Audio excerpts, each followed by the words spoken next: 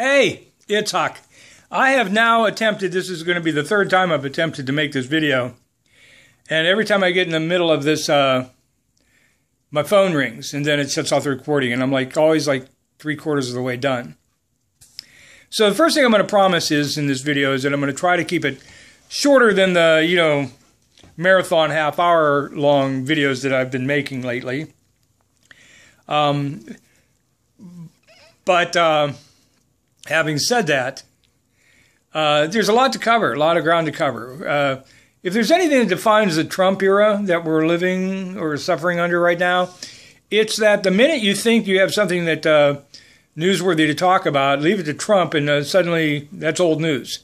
And this is like a daily occurrence. You, I mean, you just can't. It's one of the reasons why I can't seem to get videos out is because the minute I've given some thought to what I want to say, boom, suddenly that's old news or something new to talk about. And of course, I wanted to post something yesterday about the election, yeah, because there's a lot to talk about here.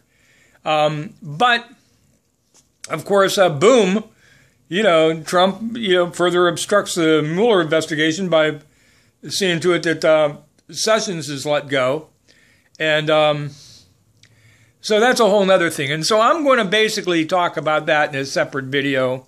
Uh, I might touch on it a little bit here at the end, but um, basically we're going to talk a little bit more about that uh, at another time. What I wanted to concentrate, though, on today was, um, you know, uh, the results of the election. Um, why I thought it was a significant, uh, uh, really um, good day for Democrats, and why it doesn't feel that way. Um, you know, I had a little disappointment uh, personally. Um, being from Ohio, I had high hopes that we would um, somehow elect, um, you know, a Democrat as governor and, and, Secretary of State. And this was important for a lot of reasons. One is because I want Ohio to hold on to their expanded Medicare that they got under Kasich. Um, and with a Democrat, I felt, you know, obviously we would expand Med- uh, uh, Medicaid coverage here even further, and we would um, expand the options probably with Obamacare. That, um, you know, Kasich was um, uh, you know, moderate in that sense, as far as the health care is concerned. Um, Mike DeWine is much less so. Um, and so I really, really didn't want him to win. Unfortunately, you know, we have to face the realization now in Ohio that Ohio has become a red state. And uh, most of the statewide elections ended up in red, um, you know, in, in Republican um, uh, hands. And uh, here locally, the Mahoning Trumbull County area, northeastern Ohio, where I live, um, it's kind of been a bastion of you know Democrat strength here in Ohio, along with um, there's there's basically four four or five parts of Ohio that are largely Democrat. You know, um, Trumbull, Mahoning County or Youngstown, Warren area. You know, the Cleveland, Cuyahoga County area. Um, Toledo, um, up in the northwestern corner, and then uh, Columbus, and uh, uh, kind of the the Dayton area a little bit. And uh, they've drawn districts in Ohio so that like um, our congressman's um, 17th district here that encompasses a little bit of Mahoning County, a little bit of Youngstown, most of Trumbull County, and um, uh, it steers its way all the way into um, the the strong Democratic pockets of uh, like Akron in the center of the state. Um, that's the 17th district.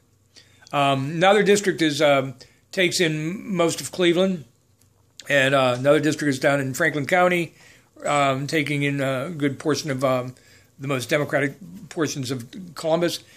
And uh, each of those districts are like 70 to 80 percent Democrat. They've packed in as many Democrats as they possibly could to leave fewer Democrats everywhere else. And so the rest of the districts, um, there's like four Democratic districts in Ohio out of 15. And um, those four Democratic districts are like close to 80% Democrat. And the Republican districts are like 60%, 65% Republican. Um, you know, it's weird because like Ohio votes, like even now I call it a red state, but it's about 52% red. And yet uh, we're 11 4, um, you know, or 10-5, you know, every election as far as uh, congressional districts because of the way the districts are drawn. And our state legislature is just as bad. So I was disappointed in, I was kind of hoping that Cordray would win. I had mentioned in my last video that uh, one of the things I kind of looked at, um, you know, as a bellwether uh, was one, you know, would a Democrat have a chance to win? Uh, well, one was clearly um, one of the things I looked at was, you know, what Trump's strength was in that area.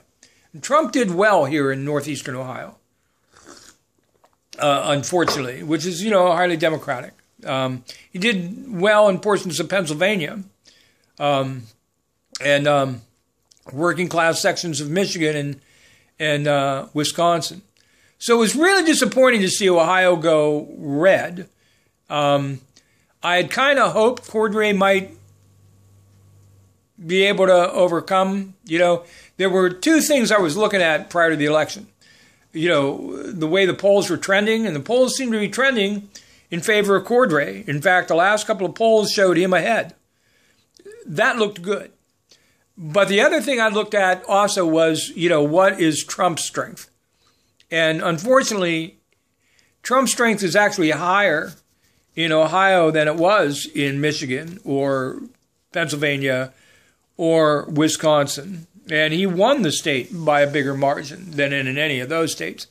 Um, and and unfortunately, I think this election proved that that's not changed. Um, so that's that's really disappointing. The other disappointing thing, and I'm just trying to get the disappointing things out of the way.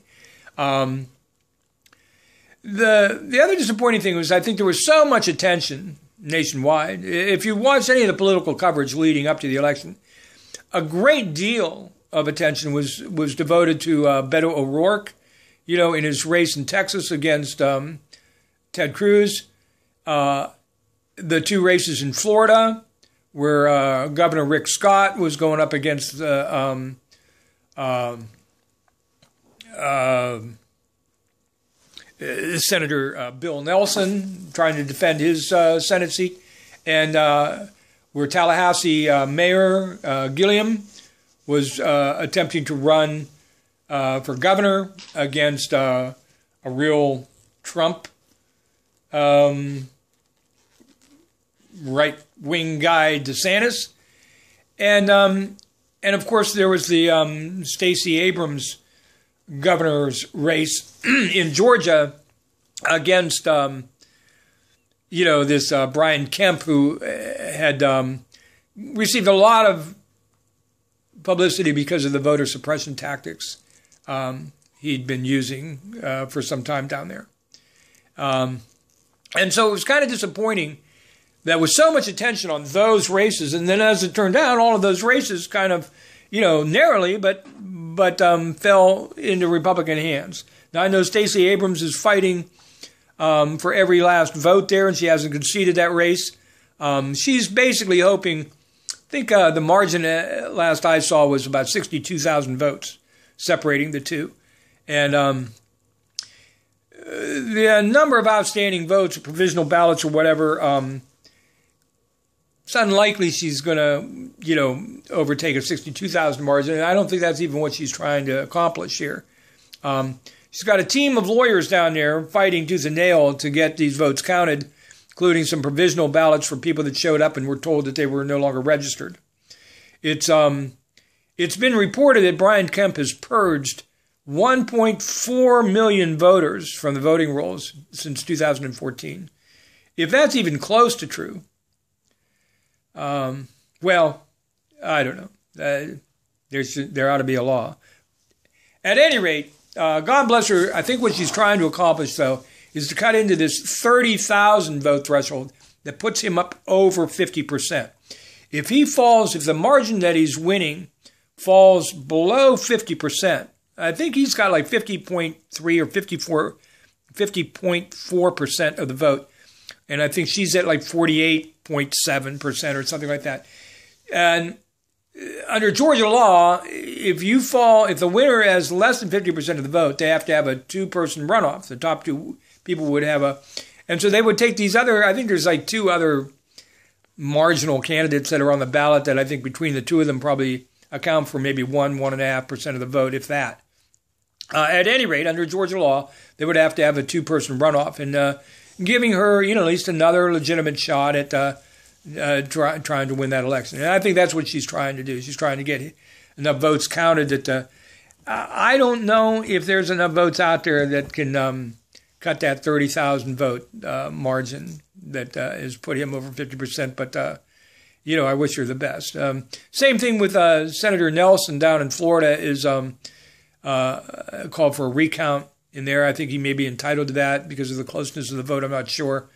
Um, but um, again, I think it's going to be a, again, because of the voter um, suppression tactics and the fact that the you know, people are waiting. Like in Florida, in parts of Florida, it's uh, notorious um, the number of um, people that have to wait, you know, hours in line to vote. And uh, some people just don't have that much time. You know, they got to be back at work or whatever, and they can't miss the miss the time or whatever. It's um, at any rate, it's going to be an uphill climb for him. Um, you know, it's it's states like Florida and Georgia. I mean, I guess they found something like 600 voting machines in Georgia that weren't used. Um, perfectly functioning machines that just weren't used, you know, in and around Atlanta and some other places where voting, you know, required, you know, in some cases three, four hours of people waiting around um, to vote.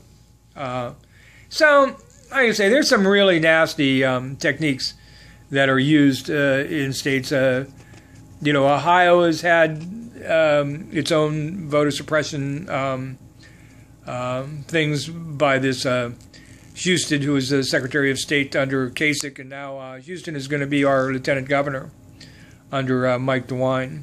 DeWine.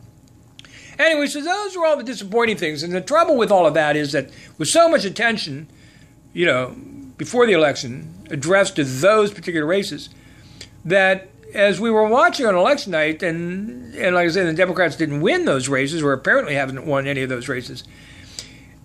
Despite what success the Democrats did have, you couldn't help but feel somewhat disappointed and let down.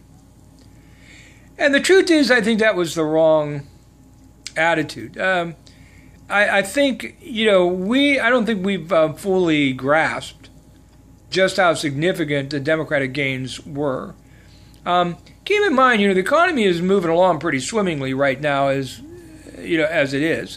Um, I mean, there are problems. People are still working way too hard, working way too many hours. Wages are way too low in some cases, but the unemployment rate, you know, is lower than it's been in a while, and um, you know, um, spending is up. Um, so is debt. Uh, I can I can relate to that, but typically when the economy is doing as well as it's doing right now, you know, the parties in power usually get, um, you know, the benefit of the doubt. And um, that clearly was not the case. Um, Democrats are going to have taken about, when all is said and done, about 35 House seats.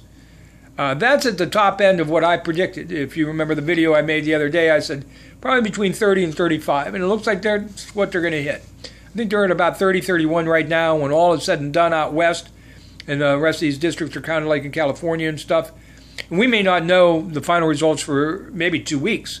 But when it's all said and done, it looks like um, we could have as many as 35 wins. Um, these are formerly, you know, Democratic seats that have switched to Republican. Um, now that's a, I think Republicans took two from Democrats, and we've taken like at least 35. Uh, that's a significant change. And to put that in perspective, you know, we talk a lot about the 2010 um, election, the two years after Obama was swept into office, and all that Tea Party movement was going out there, and Democrats had this um, you know, mass annihilation basically in 2010 when Republicans swept, you know, 60 House seats and, uh, you know, grabbed control of the Senate. Uh, and in state legislatures, they won like 15 states, lock, stock, and barrel. You know, the entire state legislature, you know, the House representatives in the states, uh, the state Senate, and the governorships. They won, they took over control of 15 states. They did that by winning basically um, by getting about 7% more of the vote than Democrats got in 2010. In other words, Republicans enjoyed about a seven point advantage in that election. Well, that's identical to what Democrats enjoyed, you know, the other day eh, on election day here Tuesday. Uh, Democrats nationwide won by about seven percentage points. We're going to end up with, uh, I don't know, maybe 35 House seats. Uh, we're going to barely hold on to pretty much what we have. We might lose one or two Senate seats, but considering that uh, there were like 19 seats in Republican Trump country districts, the fact that we were able to hold on to the vast majority of them and only lose maybe, I think we lost Heidi Heitkamp uh, in North Dakota, which was kind of a given. Um, we lost. Um, uh, looks like we're going to lose Bill Nelson in Florida. Um, we're, I don't know, there were maybe two or three seats altogether that we're going to lose. But we won, you know, or held on to a lot of the ones that people never thought we would. You know, we, we held on to Tester's seat. We held on to Manchin's seat. We held on to, um, well, a lot of seats. Now, while we're talking about the Senate, I guess I should mention one other thing, and that's the, the Ted Cruz Beto O'Rourke. I know that there are people right now that um, you know have kind of um, watched that campaign unfold, and they were really amazed at the success that Beto O'Rourke had, not just within the state of Texas, but nationwide.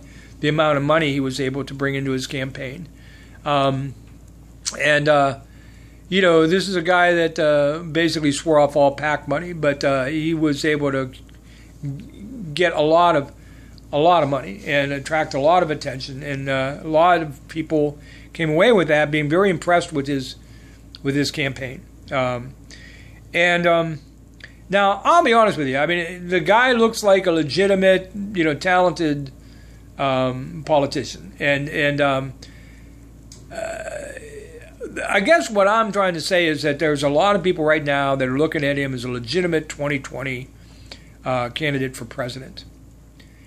And um, and I guess I can understand where that's coming from, but I, you know, I guess what I'm trying to say is I want to take a little step back there and try to bring some people back to what I think is, uh, you know, uh, down to earth, some reality. The truth is that um, as successful as O'Rourke was, and as close as he made that election, fact is he still got beat. And he got beat by probably the most unpopular Republican holding office, at least you know in the Senate. Um, and I don't think there's any question that Ted Cruz is just an overwhelmingly um, unpopular person, even within the Republican Party. And um, and so, you know, Beto wasn't able to beat him. And I mean, if there's any Republican, you're going to, you know, if Beto would have made that kind of an impressive um, uh, close run against Greg Abbott, you know, the Texas governor, or, you know, any number of other, you know, Texas Republican politicians, that'd be one thing. But, you know, he ran a, a good campaign, a solid campaign, and, uh, you know, with a very good positive message. And uh, like I say, he's a very energetic guy. Um, certainly won over a lot of, um, uh, you know, there were, from what I understand, there was a lot of uh, yard signs all over Texas where you never saw them before. Um, you know, just his ability to generate, you know, money uh, was impressive. Um, but I still say that's a far cry from, you know, being a legitimate presidential contender. I can think of a number of people I'd put higher on my list at this point in time, but uh, I guess time will tell. Anyway, that's my two cents on that. Um, the seven point margin that Republicans enjoyed in 2010 swept them into, like I say, 60 House seats, 15 statewide, you know, uh, uh, uh, where they controlled, you know, everything in the in the state legislature and the governorships. And basically, because of gerrymandering and voter suppression tactics, when Democrats get a seven point margin like Republicans enjoyed in 2010, our gains are basically half as much. We got, you know, like I say, 31, maybe 35 House seats. Uh, we barely held on to some of the Senate seats we had lost, actually, too. Um, we Um, we won control of eight uh, uh, state, complete control over eight uh, state legislatures and governorships. I think we switched eight state governorships.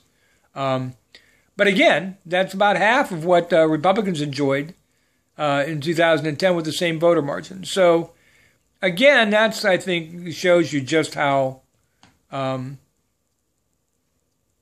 you know, how um, what a hurdle Republicans have put in our path. Now, that brings us to the last issue here, and I'm going to let you go before we get too deep into this because that'll be my next video.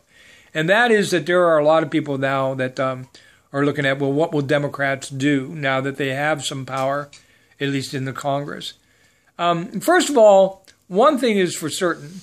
Uh, we'll see an end to the types of things uh, of governing that we've seen by the Republicans when they had all the reins of power. What Republicans had been doing was they basically were completely ignoring the minority party and going into back rooms and writing legislation. That's how they wrote the tax bill. That's how they attempted to repeal uh, the Affordable Care Act, uh, which they were, uh, thank God, unsuccessful in doing. But basically, um, when they didn't need any Democrats for anything, they basically didn't give them the time of day. Uh, now that they're going to require some Democratic um, help to get anything done, of course, you're going to hear all this talk by Mitch McConnell about uh, bipartisanship. Bipartisanship that was sadly lacking when they didn't uh, when they didn't need it. Uh, so, if I were Democrats, I know you're going to hear a lot of talk right now by a lot of Republicans uh, and by a lot of pundits on both sides that are going to say that uh, you know Democrats are they going to work with Republicans? Are they going to work and maybe get things done, compromise, or are they going to be obstructionist? There's that word. When Republicans are obstructionist, it's they're protecting the president. When Democrats are obstructionist, they're obstructionist. You know, I guess I kind of have a word for Republican politics these days, and I call it um, Python politics. And what I mean by that is that they're like a freaking python. They squeeze and squeeze and squeeze and squeeze uh, until they take all of the breath out of you, and they don't let up. And then when they've got you to the point where you basically can't breathe, then they want to be your friend. You know, because uh, you're, powerless to do anything. But once they, you've got a little power and you can fight them, then, uh, you know, suddenly it's like, uh, you know, what are you trying to do? I mean, uh, don't, uh, where's the bipartisanship? Where's the, where's the compromise? You know what?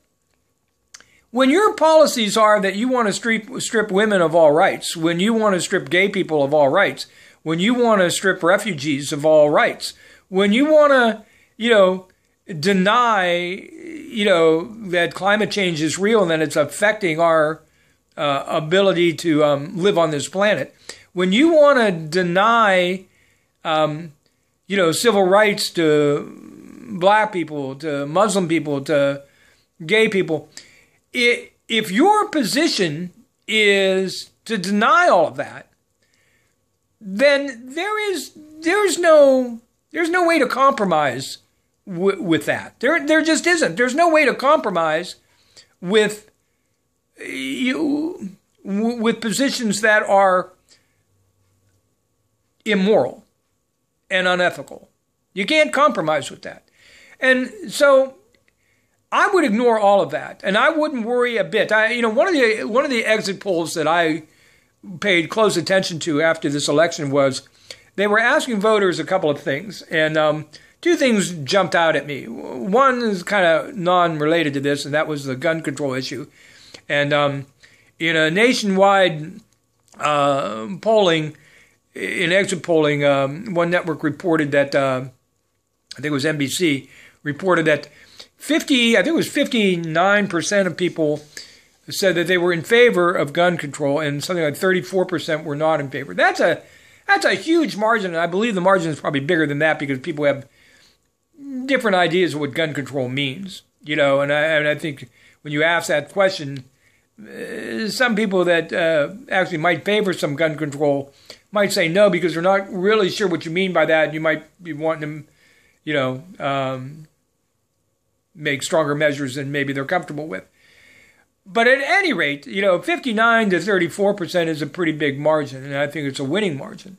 And I think more Democrats, even in red states, should um, should boldly campaign, you know, on uh, you know on a gun reform message, and uh, you know whether it's to, to outlaw assault weapons or bump stocks or universal background checks without exceptions.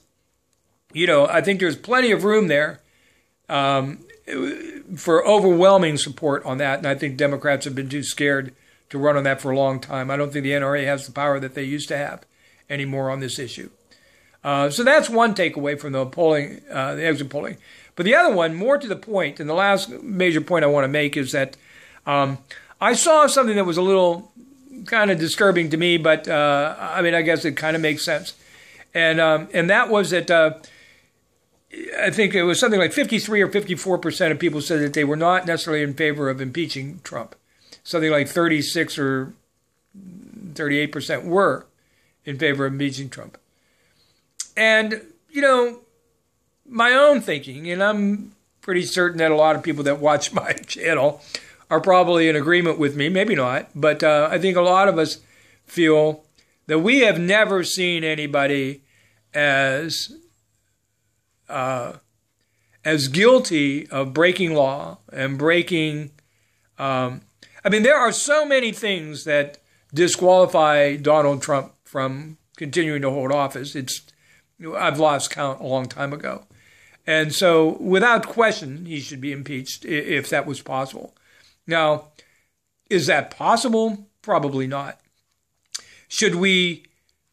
You should we? Um, work tooth and nail over the next two years to try to make that happen? I don't know. I do know this. We have to bring to the attention of the American people what he is guilty of. And whether that translates into an impeachment hearing, well, that's another story.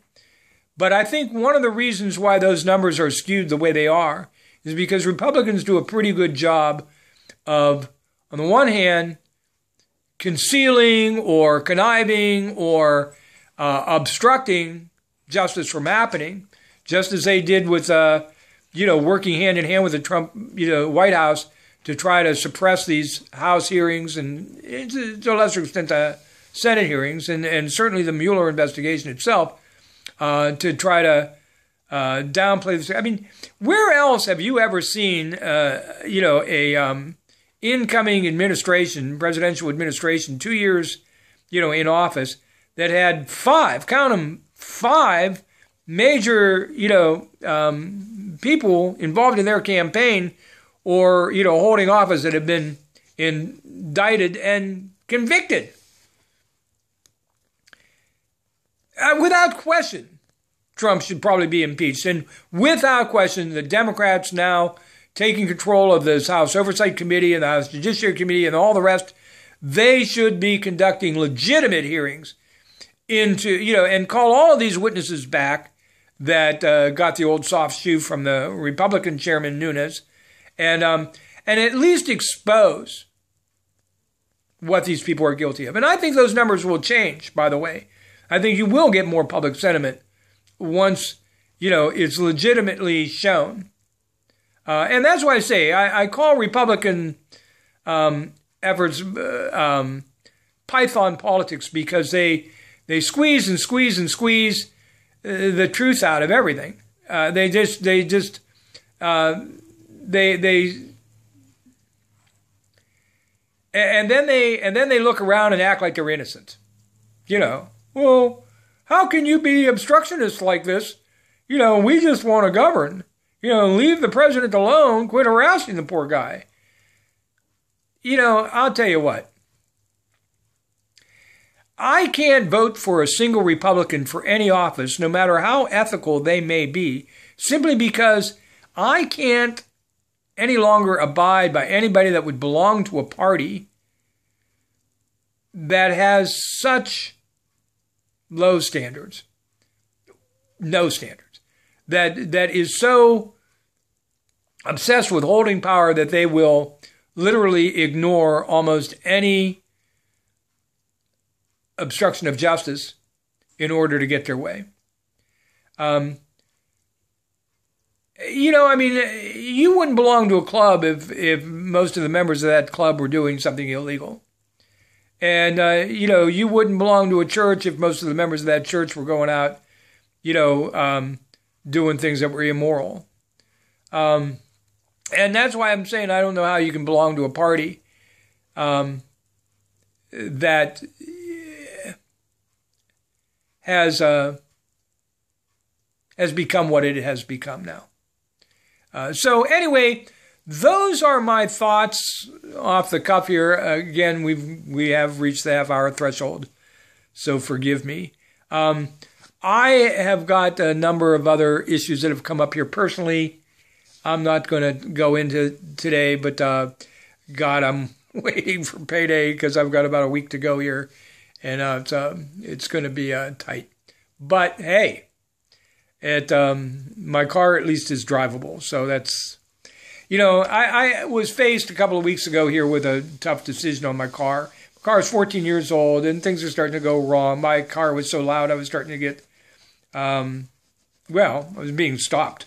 And, you know, and, and then, you know, I just replaced two tires uh, a couple of months ago, and now I had to replace the other two. And I, you know, and I finally had to ask myself, do I really want to keep putting money into this car? It's old and, you know, it's rusting and, and uh, the truth is, you know, even these hundreds of dollars that I'm putting into it, um, uh, you know, is still a lot cheaper than buying an, another used car, which I'd probably have to make payments on, which I'm not even sure I'd be able to continue making payments. Um, not only that, my car insurance would go up because I'd have to get, you know, full coverage insurance. I only have liability now. So it was right, no brainer. I don't have that oper. I just is not buying another car is not an option. Yeah, it just wasn't. So, uh, so I'm all in on keeping this car running, and unfortunately, that required about. I just ended up putting about uh, well.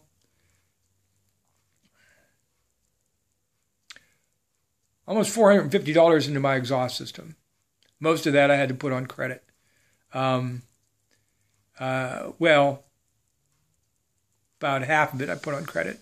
Come to think of it, and um, and, and then I bought 160 dollars. I bought tires, and I had to put that on credit, and um, and I'm not done. There's one or two other things that need to be done in the car, but I'm going to try to hold off until I can save some money. Um, at any rate, like I say, that's life. It's what happens. I've got a couple of teeth here that's got to go, and um, you know, I don't know what I'm going to do.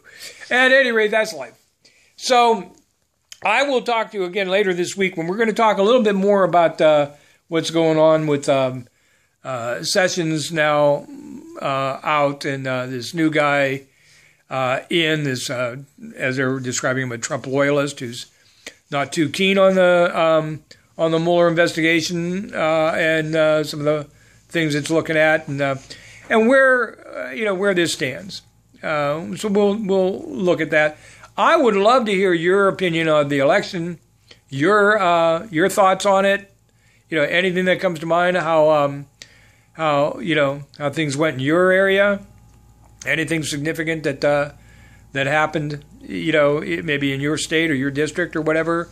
Any um, you know I know there were a number of states that uh, passed some ballot initiatives or whatever there's a Florida issue I think that's going to be big that passed, uh, allowing a potential 1.4 million, you know, uh, felons are going to be able to uh, get restored voting rights, and that could play a big, a big role in the 2020 presidential election. I know.